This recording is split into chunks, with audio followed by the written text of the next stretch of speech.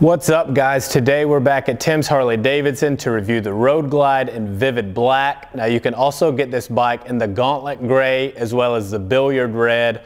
All three color options are chrome only. You cannot get the black and just the regular Road Glide. And before we start the video, if this is not the first video of mine you've watched and you're not subscribed, please consider doing so. It would help me out a lot.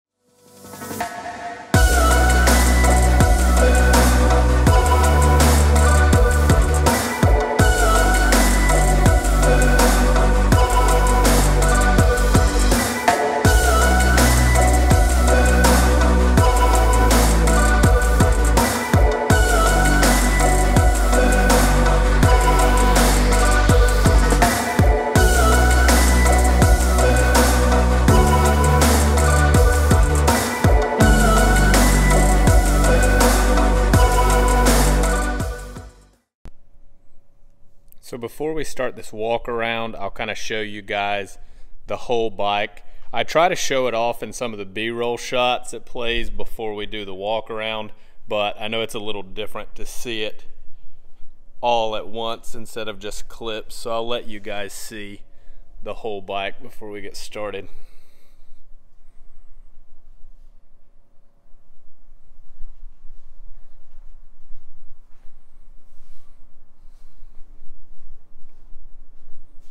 All right, so real quick before we jump into the uh, walk around, I want to point out that this bike does have the upgraded GTS boombox system. Timms orders most of their standard models, be it the Road Glide or Street Glide, with this option. It adds like $9.95 to the price of the bike. And to me, I mean, that's a no-brainer because I'll show you what the other one looks like that it comes with. So Timms happened to have the Street Glide standard that I think slipped through the cracks and got the smaller radio option on here. This is the Boombox 4.3. And as you can see, just a lot smaller, whereas the GTS system fills out this whole box here. Uh, you have your buttons. You can still control everything from the handlebars with both systems, but that bigger screen is just a lot nicer. Touch screen, navigation. They both do Bluetooth but for $9.95, I honestly feel like it's a no-brainer to do that upgrade. I just wanted to point that out to you guys before we started the walk around. So now that we've addressed that, we'll start the actual walk around. We always start things out on this channel with the tank badge. So I like this tank badge. I think it looks really good. I do like the one that comes on the S model just a little bit better, just for my personal taste. I'll show you guys what that one looks like. This is the tank badge for the S model Road Glide as well as the Street Glide. It's the same badge on both. I like just the standard bar and shield. I think it looks good. Nice clean look on that tank. Just wanted to show you guys the difference on those two. Also, you'll notice on the standard that you still have the same console that Harley's been doing for a while now with the gas cap underneath someone commented on one of the videos and what they said made a lot of sense. It was something I never thought about, which was I think it would be nicer if this opened the other way. As far as putting gas in it, it would help. So I know if I'm going to go on a long ride, I try to really top off the tank. So I sit on the bike and lean it up, you know, just so I can make sure I'm, I'm filling it up as much as I can. And it is kind of in the way. Uh, not a huge deal, but that might be a nice redesign for Harley to do that. Or who knows, maybe next year they will move it over. So on the new models, you got a new CVO style console. They moved the gas tank over. I'll show you guys that real quick as well. This is your Road Glide S console. As you can see, just way more low profile, way more sleek looking. Really looks like something off of a CVO. And then they've moved your gas cap over here to the one side. Some people don't like that because it's not symmetrical, uh, but I would prefer this versus them putting just a dummy cap over here. And they do on the dummy caps, they usually have your, uh, your fuel gauge on there. But I mean, this is digital now. It tells you how many miles till empty. So I'd rather keep my tank clean, not have to deal with that because you can also get the flush mount gas cap and then you'll have nothing sticking off there and that's a really good look. So you notice that the inner fairing on these bikes are a matte finish. No matter what color option you get, if you get the Road Glide standard model, that's what you're to get. Uh, it feels nice. It is a high quality. I mean, ultimately, it's plastic. It is high quality. Uh, I don't know. I've never seen them fade or anything, so that shouldn't be an issue. But the bike feels a lot more premium with the special model that has the painted inner fairing. Uh, your glove compartments, I guess that's what we're calling these, are still the same on both bikes.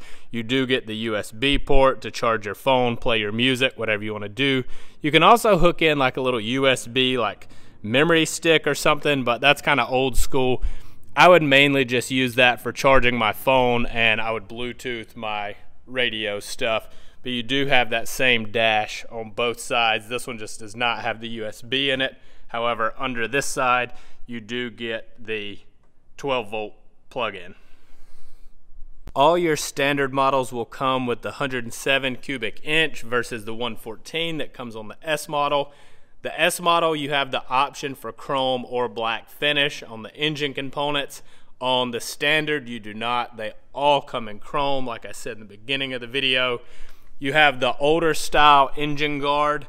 They went to a lower profile on their S models. This one is still the same. Also, these mounts will be different on the S model because the engine guard doesn't come up as high. They have another mount that comes down, just a little different. Um, not a huge deal, but something worth pointing out and noting. One pretty big difference on the two bikes though is on the standard model, you're gonna get the Enforcer 2 wheel, which is the wheel we're looking at now. Not really a bad looking wheel. I had the Enforcer on my 15 Street Glide and didn't hate it. I'd seen a lot of guys just powder coat it black, and I think I did like it a lot better that way.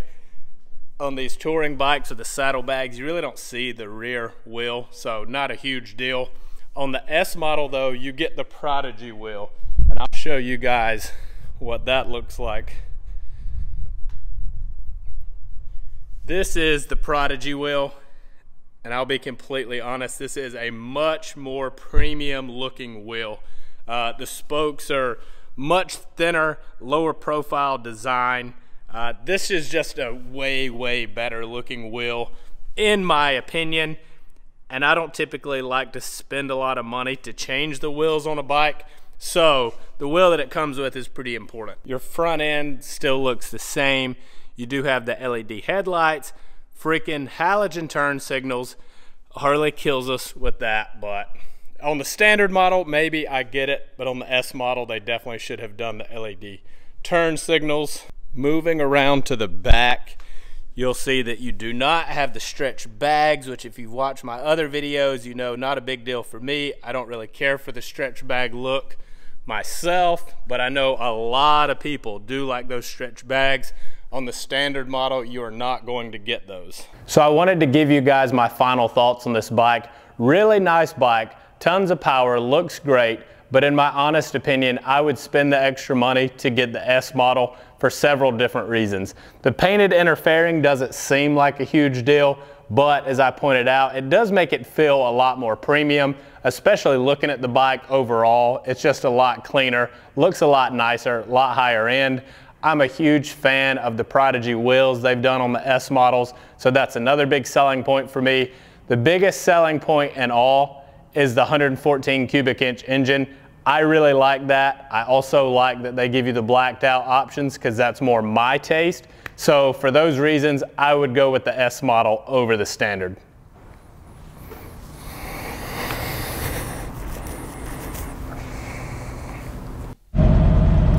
So excited that the sun is shining this time. We got lucky last week and we're getting lucky this week as well, it looks like.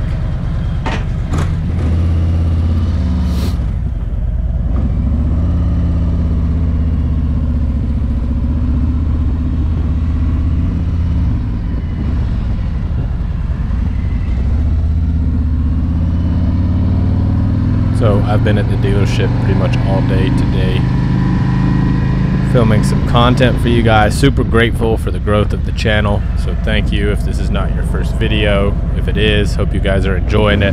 If you do, do the YouTube stuff, please. Uh, likes, subscribe, share, comment, whatever.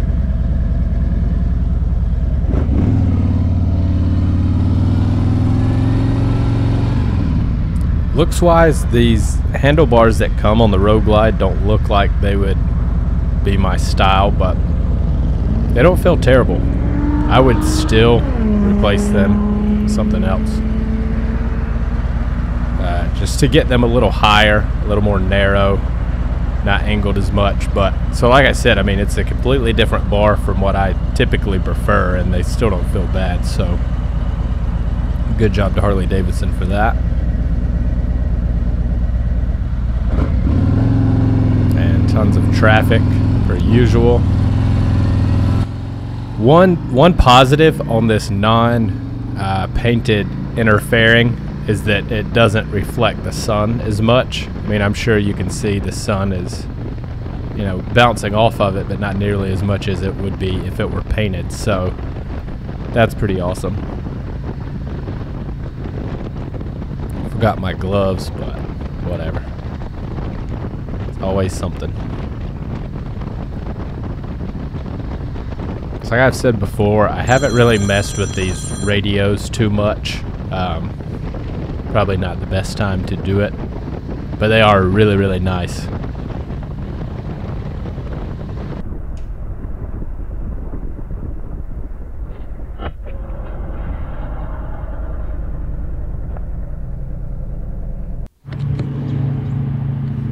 So, that was fun.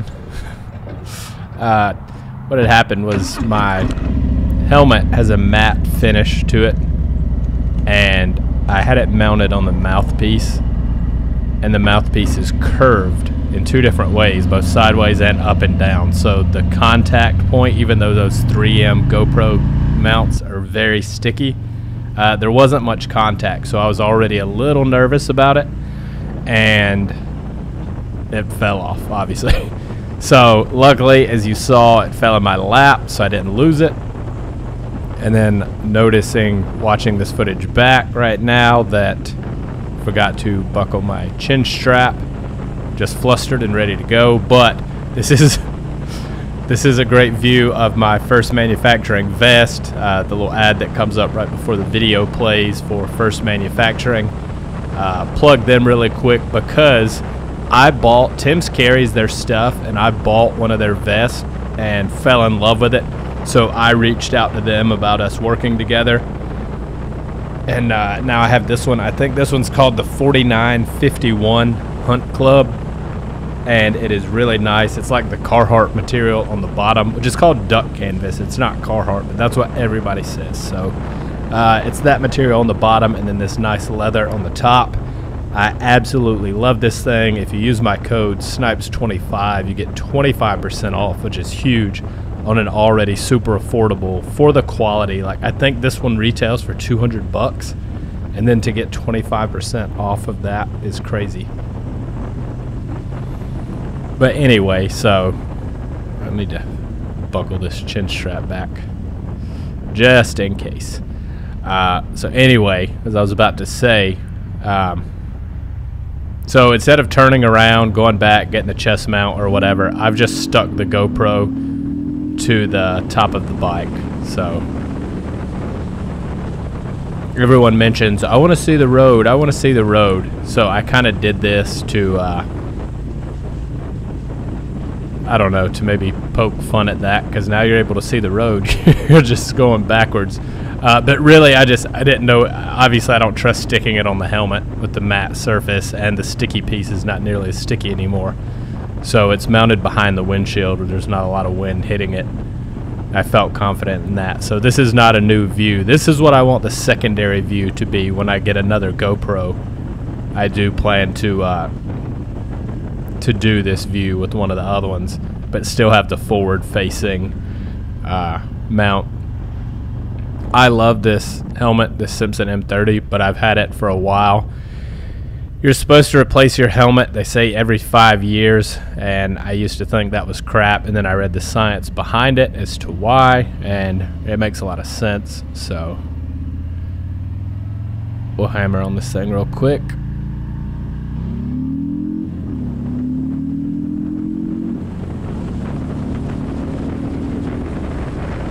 Yeah, man, like the 107 is not underpowered by any means, in no way, shape, or form does it like make you feel like you need more. Now, do you want more? Sure, I think everyone does. So, the 114 is a noticeable difference, but the 107 is great too.